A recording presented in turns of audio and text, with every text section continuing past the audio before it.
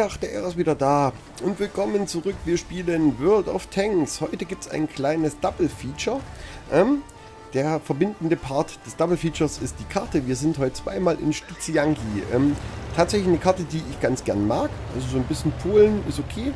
Ähm, und das erste Replay stammt vom Leo. Der Leo ist der Stufe 7 Medium äh, Schweden Panzer. Ich fahre den tatsächlich mit der großen Kanone. Das ist eine 10,5 cm Kanone ähm, mit wenig äh, Frequenz des Schießens, aber dafür 300 Schaden. So, also ich finde diese kleine Pop-Kanone ist auch ganz nett, aber wenn ich sowas fahren will, da kann ich auch Comet fahren, finde ich. So, ähm, Stutzianki. Ähm, wir sind zusammen unterwegs mit dem Elder. Der Elder fährt den E25 und Plan war tatsächlich, ähm, hier unten uns durch das Dorf zu schlagen, was tatsächlich mittlerweile so eine sehr, sehr, sehr, sehr, sehr seltsame Position ist, weil hinten in diesen Gebüschen, da hinten auf K0, K9, da campen die ganzen Tank-Destroyer und machen einen Push hier durch dieses Dorf relativ schwer. Also es ist halt tatsächlich schon, man kommt bis rüber und dann rennt man ins offene Feld in die Tank-Destroyer. Aber nichtsdestotrotz, irgendjemand muss ja hier hinfahren. So, also ich bin schon mal da, bin aber auch relativ allein. Ich habe hier noch so ein äh, polnisches Gerät, so ein 50 TP Protonentyp und ansonsten nichts weiter. Ja, der 50 TP Protonentyp kesselt mir erstmal voll rein und äh, schießt mich erstmal weg. Gut, ich hätte vielleicht ihn vorbeilassen sollen, aber ich wollte erstmal gucken, ob ich hier vielleicht ein bisschen Supportfeuer machen kann. Aber irgendwie, nee, eine Tiger komme ich nicht. Oh, da war doch eine Silhouette. Hm. Wie auch immer das funktioniert. Fakt ist, die war bloß mal ganz kurz. Das war so eine Zaubersilhouette. Ja, keine Chance. Was auch immer da kurz geblinkt hat. Ja, sowas lässt mir dann keine Ruhe. So ein Schuss auf die Seite von dem Tiger würde ich gerne nehmen. Aber nichts da. 2-2. Okay. Also. Jetzt wird es hier unten ernst. Da drüben ist ein Cromwell. Wie gesagt, sobald der Cromwell uns aufmacht, kriegt er auch definitiv jede Menge Support vom Berg, weil da bestimmt der Udes und der E25 äh, sich da rumdrücken wird oder vielleicht auch eine Hellcat und so weiter. Ähm, und Leo hat jetzt panzerungsmäßig nicht besonders viel zu bieten. Ähm, mein Plan war ja eigentlich erstmal so ein bisschen Supportfeuer da hoch zu machen. Die Su 100 M1. Aha. Oh Gott, ja. Ein 53 TP-Turm. Ähm, selbst wenn ich ihn treffen sollte, ich glaube, da komme ich nicht, nein. Aber ja, ich habe da gerade eh nichts anderes vor, also war der Plan, probieren wir es trotzdem. Ah! Oh! Mensch! Ja, ich spiele nach wie vor mit äh, verletzten Fingern. Ähm, das soll jetzt nicht entschuldigen, dass ich hier nicht treffe. Es hat damit nichts zu tun. Ich wollte es bloß angemerkt haben. Ich mache nämlich manchmal so lustige Sachen. Ich schalte zum Beispiel auch die Munition ab und zu einfach mal durch, ohne das selber zu wollen. Ähm, weil ich hier mit einer Schiene auf die W-Taste drücke und die Schiene ist so, dick, so dick da fahre ich manchmal auch nicht los, weil ich äh, die Rückwärtsfahrtaste mitdrücke oder ich hau halt mal spontan nebenbei noch mit auf die 3 und schalte auf HE oder mach Gold rein und so weiter. Es ist tatsächlich sehr witzig, wie ich das hier so äh, zurzeit spiele. Aber so ganz ohne Zocken, drei Monate mit Schiene, äh, das will man ja dann auch nicht. So, aber ich kann euch ja so einen Kram erzählen, solange ich hier rumstehe und 53 TPs schieße, die eh nicht zu penetrieren sind und die vor allem auch so gut wie nicht zu treffen sind. Ja, also ihr seht bis jetzt, ich bin, also ein, es ist ein hervorragendes Gefecht. Es ist ein ganz, ganz hervorragendes Gefecht. Das zeigt, wie man das äh, absolut nicht macht mit dem Stutzianki. Der Elder ist schon wieder in einer aggressiven Position nach vorn gefahren. Der E25 steht und da ist eine Su 100 gewesen. Hellcat hat sich der Elder direkt weggeschossen. Ich schieße mal ein bisschen blind, kann man auch machen. So, und da ist die Su 100 auf der Flucht. Da lässt der Elder nichts tun. Ja, ihr seht schon, neben Elder kacke ich schon wieder voll ab. Elder hat schon wieder drei Kills.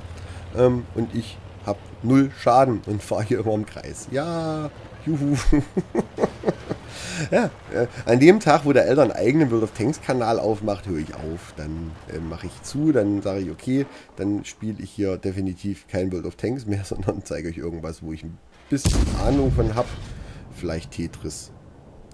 Tetris bin ich nämlich relativ gut. Ich schaffe fast immer die Rakete.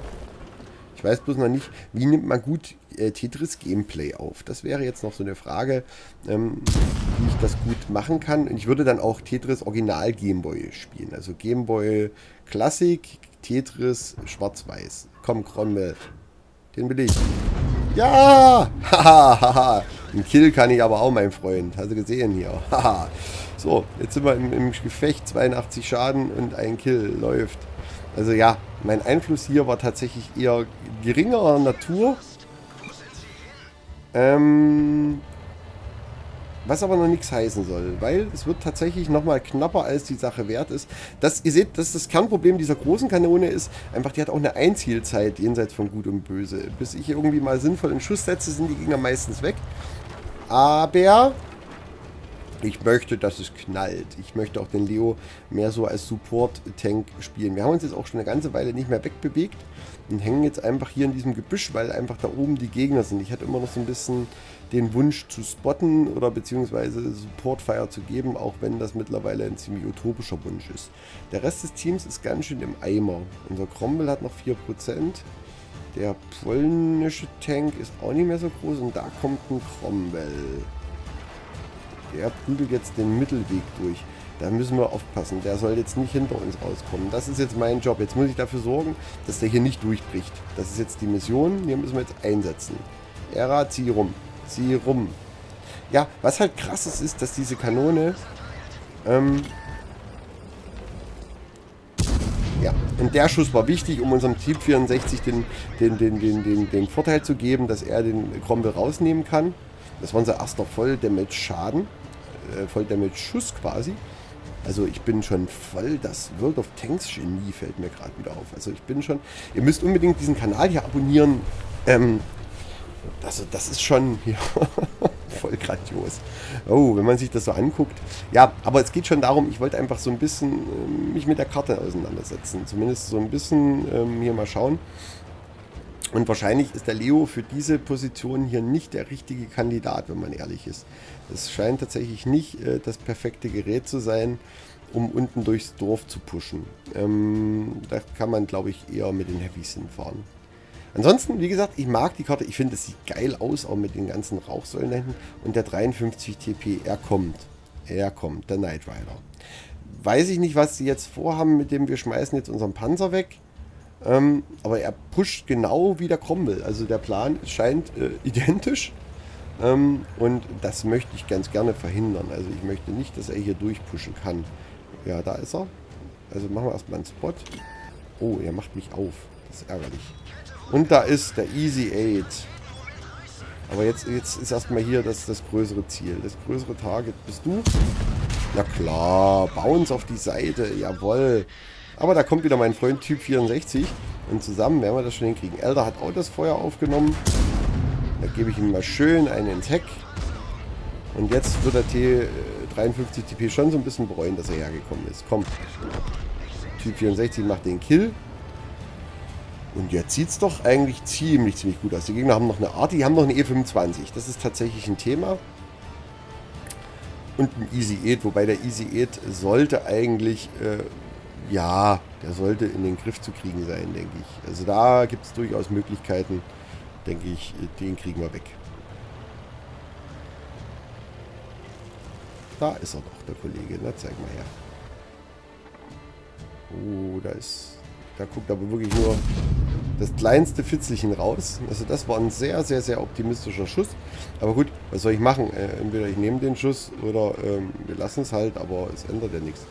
Ja, da ist irgendwie ein Stück. Nee, ich muss weiter vor. Ich muss weiter vor. Wir müssen jetzt eins, äh, einen nach dem anderen schön auseinandernehmen. So. Oh, das ist gut. Das ist gut. Guck mal. Da nehme ich den. Guck mal. Und dann habe ich mit unter 1000 Schaden hier zwei Kills hingelegt und habe grundsätzlich eigentlich äh, gar nicht wirklich viel gemacht. Außer sinnloses Hin- und Hergedübel. Wie gesagt, es ist hier nur der Vorfilm, insofern ähm, ruhig bleiben. Ich mache dann direkt danach gleich nochmal Stuziangi und ähm, dann spiele ich auch ein bisschen besser. So ein bisschen. So ein Müh. Nanomäßig. Und jetzt, ähm, seht ihr, habe ich folgendes gemacht. Jetzt habe ich mit meinem tollen Schienenteil auf die 3 gedrückt ähm, und habe HE reingemacht. Ähm, das habe ich da aber noch mitgekriegt. Also das habe ich tatsächlich, das soll jetzt nicht die Ausrede sein. Und dann dachte ich mir, ach, E25, ja, da ist doch HE eigentlich ganz geil. Ähm, das war im Nachhinein ein ganz, ganz blöder äh, Teil der Überlegung. Aber es machte zu dem Zeitpunkt Sinn, weil es war nur noch eine Hummel in E25. Ich dachte, wenn du jetzt E drauf gedrückt hast, lässt es drin. Nimmst du mal die HE und haust dem E25 den Frack voll. So. Ja, aus der Fahrt schießen war jetzt nicht so der Oberknüller. Und dann gucken wir mal. Ja. Und jetzt kommt genau der Trick. Ihr werdet feststellen, so ein E25, der hat vorne tatsächlich relativ viel Panzerung. Guck mal, ich habe ihn jetzt mit HI aus einer 10 halber getroffen und habe ihn kritisch getroffen. Ich habe quasi nichts gemacht. Und wenn ich jetzt eine AP drin habe, ja, mache ich nicht 39 Schaden und der E25 stirbt und ich habe noch einen, wir hätten noch einen Waffenbruder rausgekriegt. Egal, das war einfach dumm meinerseits. Rum wie numm. Wir machen jetzt direkt weiter mit Stutzianki. So, und wie bereits versprochen, es geht wieder nach Stutzianki. Ähm, diesmal aber ein bisschen ein anderes Setup. Es ist ein Sechsergefecht. Wir sind Top-Tier. Punkt 1. Punkt 2. Wir fahren russische Heavy Tanks. Der Elder fährt den KV-2. Ich fahre den KV-85. Jetzt fällt mir gerade auf, ich glaube, ich habe von dem noch gar kein schönes Foto gemacht. Und hier kann man, ja, kann man wirklich wunderbare Fotos machen. Das finde ich ein sehr, sehr schönes Bild. So, siehst du? Haben wir noch ein schönes Bild gemacht. Ähm, ja, das erste, was passiert, eine Hellcat rammt mir hinten rein und schießt sie erstmal drei Hitpoints weg. Sehr gut, Hellcat. Hast du toll gemacht. Ähm, warum ich das gewählt habe und warum vorher das komische Leo-Replay, ja, dasselbe nochmal. Wir fahren wieder hier unten rein, versuchen wieder durch die Stadt zu pushen. Diesmal sind aber die Vorzeichen ein bisschen anders. Diesmal fahren wir Heavies. Und Heavies heißt, wir können auch mal einen richtigen Punch raushauen. Wir können vor allem auch so ein bisschen was bouncen, wenn es sein muss. Und wir sind Top-Tier. Das heißt, diesmal liegt auch mehr Arbeit bei uns. Ähm, als äh, im letzten Replay, wo ich äh, dann, ich bin ja so ein Held, ich erwarte ja, dass dann die Top-Tiers, die Achter da auch ein bisschen die Führung übernehmen, was sie ja ganz oft einfach nicht machen. Aber wenn wir das machen, kann man sich drauf verlassen. Und da ist ein D14. Ein T14. Na, mal schauen. Vielleicht können wir dem ja direkt schon mal eine kleine Begrüßung geben, aber nein, er kriegt Schaden. Das wird dann nicht. Dann begrüßen wir halt die Stuck 3G. So, 285 Schaden. Jetzt habe ich schon mehr Schaden gemacht als im letzten Replay in den ersten 5 Minuten. Das ist echt nicht schlecht. Und die Stuck 3G will es unbedingt wissen. Die zieht das durch. Die gibt nicht auf, die fährt durch. Na gut. Wenn du denn denkst, dass du das so machen musst, dann mach das so. Denn das war ihr Ende. Jetzt müssen wir aufpassen. Wie gesagt, da oben sitzen wieder die Tankdestroyer. Ähm, es steht schon 2-0. Sehr gut. Sehr, sehr gut. Sehr, sehr gut. Ähm, wir haben diesmal auch ein paar mehr Panzer mit. Jetzt können wir nämlich auch spontan direkt den Push ansetzen. Wir fahren direkt rüber. Und dann schauen wir mal, ob wir hier von hier unten schon irgendwas Lustiges anstellen können. Die gegnerischen T150er sind da oben. Guck mal, da ist ein T150 Heavy. Oh, warte mal. Ah, komm mal her, mein Freund. Batz. Da drücken wir dem doch spontan mal eine. So, und da ist ein T14, ein Shinokai und der andere T150. Die sind hier. So. Den nehme ich. So. Und das meine ich. Guck mal, dann bounced man halt ein bisschen was. Da hinten stehen auf jeden Fall Shirogos. Jede Menge Shirogos stehen da oben im Wald. Da müssen wir ein bisschen aufpassen. Ja. Okay. Das ist das Problem hier auf dieser Karte. Wenn man hier den Push geschafft hat, rennt man in die Tankdestroyer, die oben im Gebüsch sitzen. Hier muss man jetzt ein bisschen aufpassen. Die äh, größte Gefahr ist nach wie vor der T150. Der T150 hat eine schöne große Kanone. Ähm, der hat Panzerung. Das ist, das, das ist quasi erstmal der Raid-Boss hier. Alles andere, ja, kriegt man irgendwie hin. So ein Scirocco kann ich auch nicht vergeben. Wobei, natürlich, wenn der Scirocco hier im Dauerfeuermodus drauf putzelt, ist natürlich dann prinzipiell auch irgendwann mal scheiße. Der Elder kriegt Feuer.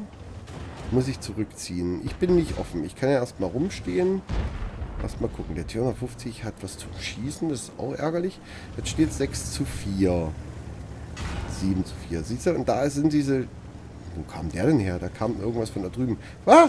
Shiroko! Ja, und schon nehmen die Shirokos nämlich wieder ihre zernagende Arbeit auf. Ja, aber das kann der Elder mit dem KV2 mal ruckzuck unterbinden, zumindest dieses Flanking-Manöver. Der T150 ist noch da. Jetzt ist natürlich die Frage, kann man da nochmal so einen schönen Schuss reinsetzen? Ja, das sieht gut aus. Da könnte man ihn nämlich rausnehmen. Ah! Da ist der Schuss, der dann natürlich daneben geht. Das ist ärgerlich. Ja, nochmal zielen. Ach, Mann. Schade. Das wäre das wär ein wichtiger Kill gewesen. Das wäre ein wirklich, wirklich guter Kill gewesen. Den man, na, da ist noch ein kleines Stück, aber ach, das sind so Schüsse, die will ich mit einer russischen Kanone eigentlich auch nie nehmen, ja. Und jetzt steht er einfach so, dass ich nicht rankomme. Ach Mann. Das ist schade. Ja, seht ihr Parallelität zum Leo vor mit dem Tiger. Ja, schade, schade, schade. Kann man jetzt leider nicht ändern. Aber den will ich halt auch nicht unbedingt auf meiner Flanke haben. Wenn wir aufgehen, kann es passieren, er fährt zurück und gibt uns noch schön einen, einen mit. Und russische Kanonen tun halt immer so weh. Das ist hm, nicht so schön. Ich fahre den, den, den, den KV85 übrigens mit der 100 mm. Ach so, das vielleicht habe ich vergessen zu erwähnen. Ich fahre ihn mit der 100 mm Kanone, weil ich die andere Kanone tatsächlich für nicht besonders gut halte. Also verglichen mit der 100 mm, weil hier ist einfach Durchschlag ist top. Ähm, äh, Schaden ist okay. Also für einen Stufe 6 Panzer finde ich ist der Schaden sogar sehr, sehr reichlich. Ähm, und Nachladezeiten und Zielzeiten und so weiter sind alle sehr, sehr viel besser. Ja, jetzt wird wieder fleißig gepinkt äh, von einem verstorbenen Mitglied der Crew. Ich pushe jetzt nicht da in die Tankdestroyer. Das ist genau der Fehler, den man... Uh, jetzt kommt der T-150. Der T-150 kommt. Äh, Alarm an alle Stationen. T-150 im Anmarsch. So, das heißt, den müssen wir jetzt den müssen wir rausnehmen. Und in dem Moment geht schon wieder von oben das Feuer los. Du kannst ja einfach nicht pushen. Es ist nicht möglich. So, wir müssen jetzt sehen, dass wir mit dem Elder zusammen das hier irgendwie in den Griff kriegen. Der T150 ist äh, der Raid-Boss. Der muss aufgehalten werden. Der andere T50 ist weg. So, Elder fahrt zurück. Elder fahrt zurück. Batz. Sehr gut, haben wir den T150 weg. Sehr gut. Das ist schon mal viel wert. Und jetzt äh, bleiben noch äh, das Rudel Tank Destroyer, was da hinten in der Ecke rumsitzt. Also ich tippe darauf, dass beide Shirokos noch da hinten stehen. Die beiden Shirokos werden dort hinten in der Ecke rumhängen. Und ja, wenn wir jetzt natürlich jetzt hier einfach wild stupide rausfahren, werden die uns auch töten. Also da kann, kann der T34S die Karte pingen, bis er schwarz wird. Ich möchte bitte äh, irgendwie heil aus der Nummer rauskommen. Zumindest äh, möchte ich noch ein bisschen Schaden anrichten. Ich möchte ja noch ein bisschen was tun. Das ist ja sonst alles ziemlich albern. So. Ach, die Mucke ist eben auch geil. Also na, vielleicht noch ein kleiner Pluspunkt für Polen. Die Mucke ist ziemlich witzig. Hat so ein bisschen den, den, den, den Witcher-Touch, finde ich. Also ein bisschen, die haben halt bei The Witcher 3, glaube ich, schon relativ fleißig äh, geklaut, was die Mucke angeht. Was aber gut ist, besser gut geklaut als scheiße selber gemacht. So. Und dann steht man hier und kommt nicht weiter. Hm. Also der Dorfpush ist tatsächlich mittlerweile echt ein Thema für sich. T64. Na. Schade. Das wäre, wäre ein guter Kill gewesen. Ein, ein wichtiger vor allem. Und jetzt kommt der Push. Jetzt kommt der PCT 25 und setzt an. Weil das ist das Problem. Geschwindigkeit ist tatsächlich ein Problem. Nicht, dass das hier ein britischer Panzer wäre oder anderweitig langsam, aber Geschwindigkeit ist tatsächlich ein Thema. Ähm, oh, da ist immer noch der Shinokai. Aber den sollte man, den sollte man eigentlich entspannt rauskriegen. Also der sollte kein Problem. Da oben ist viel spannender. Das sind nämlich die Chirogos. So, jetzt gucken wir mal, was können wir denn hier rausnehmen? Jawoll. Drücken wir erst bei dem Scirocco eine schöne Kelle. Kriegen wir den weg? Den kriegen wir weg. Kill Nummer 3. Sehr gut. Wenn der Elder jetzt dem Chino... Oh, da ist noch ein Scirocco. Ja, den nehme ich raus. Äh, scheiße. Das war mangelnde Absprache. Besser wäre es gewesen, der Elder hätte den Shinokai genommen. Aber na gut, egal. Ähm, dann nehme ich halt den Shinokai. Das ist auch okay. Wahlweise auch in Ordnung. Batz. So, Kill Nummer 4. Und dann drückt man hier einfach mal durch. Und da ist ein Jagdpanzer 4. Ah, zielen, zielen, zielen, zielen. Ja. ja. Der Jagdpanzer 4 ist weg. Und jetzt bin ich hier voll unter Feuer vom Typ 64. Und den kriege ich nicht auf. Jetzt kommt das Problem, dass ich halt eine Sichtweite habe wie... Was weiß ich. Und der steht da irgendwo im Gebüsch. Und ich muss hier übers freie Feld fahren. Und da, da hinten ist er, da hinten ist er. Das ist okay. Wenn er da hinten ist, könnte man es vielleicht in Deckung schaffen. Hm, oder eben auch nicht. Was? Wie hat der denn mich... Hier, das ist genau das Problem jetzt. Ich kriege jetzt hier Goldmumpeln vom Typ 64 rein. Ja. Ah, da kriegt man Goldmumpeln vom Typ 64 rein und geht dann nicht auf. Ja gut, es ist ein Leid. Das ist ja Absicht. So, Der wird aber trotzdem nicht mehr das ewige Leben haben, weil er steht allein mit 33 Hitpoints ähm, gegen unsere ganze Truppe. Und da geht er auch. Das Alona-Faultier hat ihn quasi getötet. Aber ja, das war Stützianki äh, nochmal ein bisschen, ich mache ein bisschen mehr. Und wir gucken uns hier mal ganz schnell die Auswertung an. Jo, und das sieht doch eigentlich gar nicht so schlecht aus. Das war ein Überlegenheitsabzeichen zweiter Klasse. Ja, wir haben ganz viel Low-Tiers geschossen. Es war ein Fighter, ein Fire for Effect, 36.000 Credits, 4.000 EP mit Tagessieg, doppelt. Ähm, ja, und wenn man sich das mal in Ruhe anguckt, kann man jetzt nicht weiter meckern. Hier, der Kollege ist EP-mäßig noch über mir. Ja klar, er hat höhere geschossen. Molar, 1262 Schaden, 1 Kill, 800 EP. Der ist nicht schlecht. Ich bin auf Platz 2. 1652 Schaden. Elder ist auf Platz 3 mit 600 Schaden, aber eben zwei Kills. Ja, der Elder mag den KV2 nicht so richtig. Ich finde den ganz großartig, Elder nicht so. Ja, und dann haben wir halt hier genau das. Ähm, die Gegner haben tatsächlich, äh, der T150 hat halt nichts gemacht. Gar nichts. Stück 4, Stück 3, das war der, der sich gleich in den Tod geschmissen hat. Insofern, ähm, ja, alles in allem teammäßig weit vorn, weit vor. Und der Typ 64 hat uns so ein bisschen das Leben schwer gemacht. 13 Schuss, 9 Treffer, 9 Durchschläge. Das war keine ganz schlechte Runde in Stutzianki. Und diesmal hat der Push halt auch funktioniert. Aber wichtig ist, man muss es halt langsam angehen. Man darf halt nicht äh, raschen. Das war früher mal einfacher. Mittlerweile sitzen halt immer die Tank-Destroyer schön hinten im Gebüsch und harren der Dinge, die da kommen. Nichtsdestotrotz, ähm, ich hatte viel Spaß. Ich hoffe, euch hat es so ein bisschen gefallen. Hier so mein kleiner Polen-Ausflug. Und ähm, ja, wenn dem so ist, lasst mir doch ein bisschen Liebe da. Und bis zum nächsten Mal. Ciao, ciao. Der Ära.